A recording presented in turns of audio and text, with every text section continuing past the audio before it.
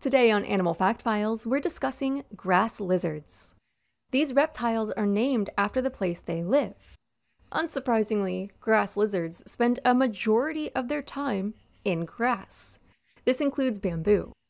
Apart from grassy habitats, grass lizards live in bushes and forests, including the tree canopy. They're scansorial, meaning they have the ability to climb.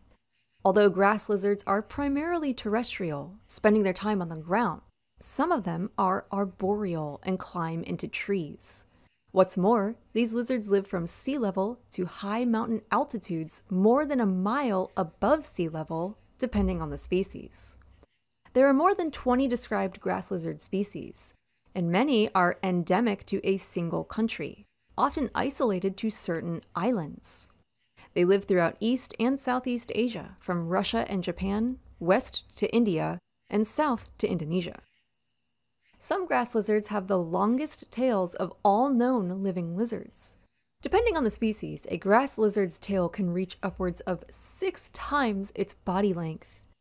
On average, these reptiles are no more than three inches long from their nose to the base of their tail.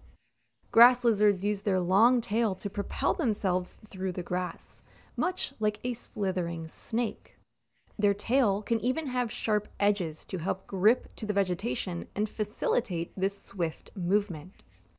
Although a grass lizard's tail is important, it can be dropped to escape threats.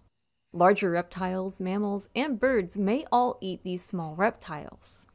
Even a strong spider can take one down given the opportunity.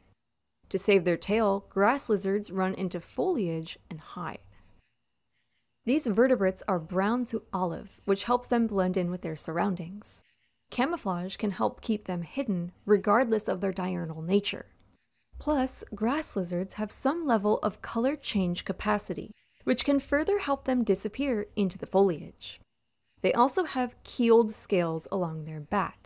These are raised scales that form lines across the top of their body that look like the edges of grass blades. When threats have passed, the lizards come out to find food. Grass lizards eat snails, worms, insects, millipedes, and some species even eat fruit. They're omnivores. Grass lizards may have multiple clutches per year, starting in the spring and moving into summer. Depending on where they live, these lizards have to go into a low activity state during the coldest parts of the year. This is especially true of high altitude living species. In their first year of life, female grass lizards typically lay fewer eggs than the older females of the population. As they get older, they may move from two eggs on average to upwards of six eggs laid at a time. Incubation times can vary vastly depending on where they live and the temperature around their eggs. Some can hatch in less than a month, and others may take more than two months. On average, grass lizards live two years. However, it's possible for them to more than double this age. For more facts on grass lizards, check out the links below. Give a thumbs up if you learned something new today.